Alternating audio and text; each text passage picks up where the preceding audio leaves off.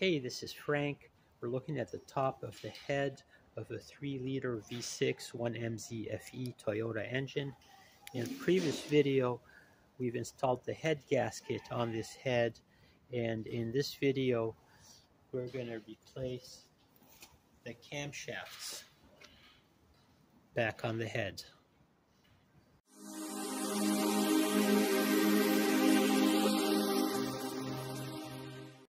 The factory service manual indicates two things we must do when reinstalling the camshaft. One is we must apply engine oil to the journals and the camshaft. So we're going to be slathering this up um, at all the journal surfaces with uh, engine oil. And the other thing it specifies is the position of the timing mark. You see the single dot on this exhaust. Hope you can see it right there maybe. So this single dot must be placed at 90 degrees.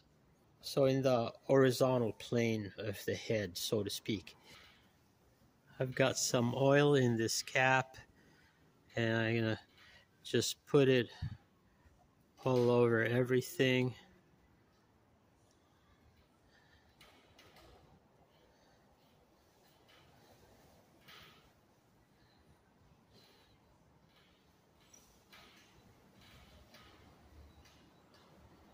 Then I'm going to go and do the same with the camshaft.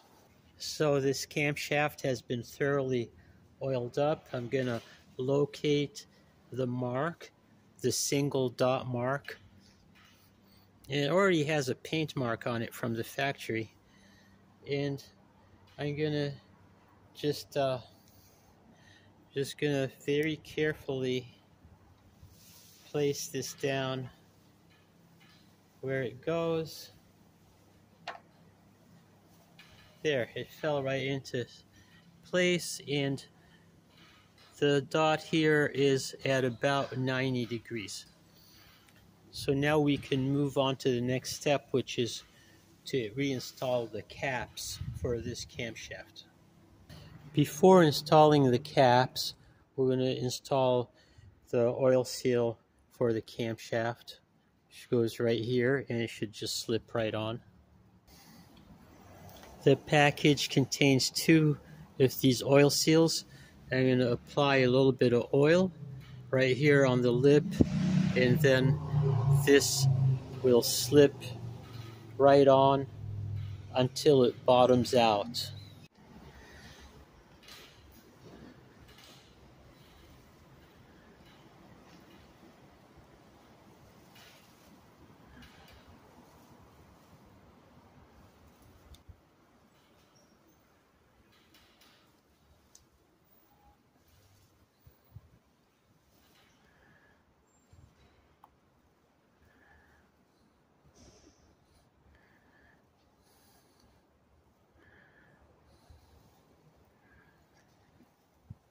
So there it is.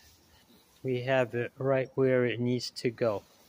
So I've placed these bearings just lightly in the position where they need to go. And each bearing has a label on it. This one is E4. So that's one, two, three, four. And it has an arrow on it that points to the front so that's how it should be positioned. Now, this number one bearing, uh, it's indicated that it should have some RTV placed on these surfaces here before the bearing, uh, I mean before the cap is installed uh, onto uh, on where it goes. So we're going to clean this up and put the RTV on and then put it back on. So here's the process of snugging them down. I just do this all by hand because we don't want to over tighten or damage anything.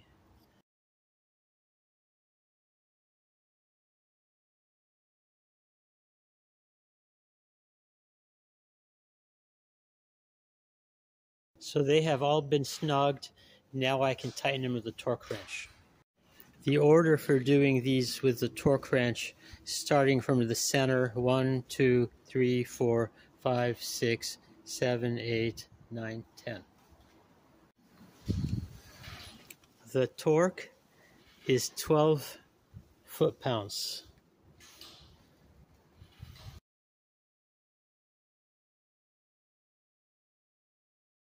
Okay, after this pass, I've just snugged them. I've not reached the specified torque yet. So let's take them a little further.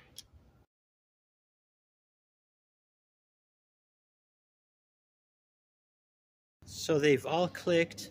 Now I'm going to make one more pass just to verify.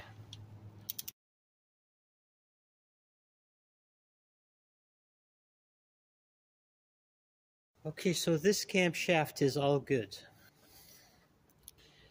So now it's time to install the intake camshaft.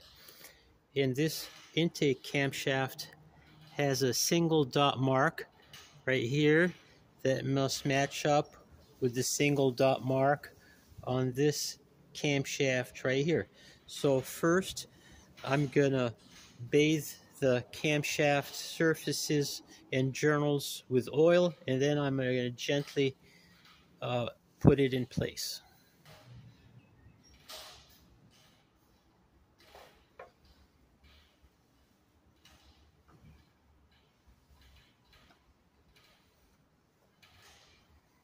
So how I did that was to line up the marks. I just guessed where it would have to go in and then I rotated it right in.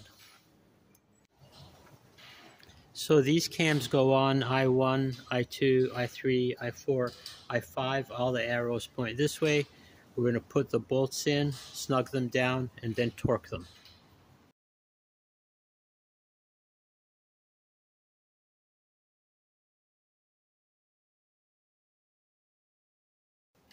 Okay, the bolts are all finger tight and we're going to torque them with the torque wrench, same torque, 12 foot-pounds. Let's see what the order is. The order for these bolts is 1, 2, 3, 4, 5, 6, 7, 8, 9, 10.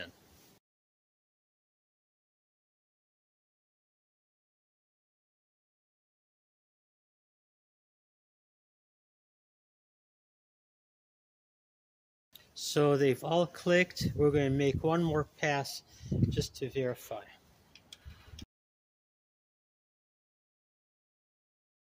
Okay, we verified the torque. Just as a final sanity check before we close it up, we verify that the timing marks are still aligned single dot to single dot. And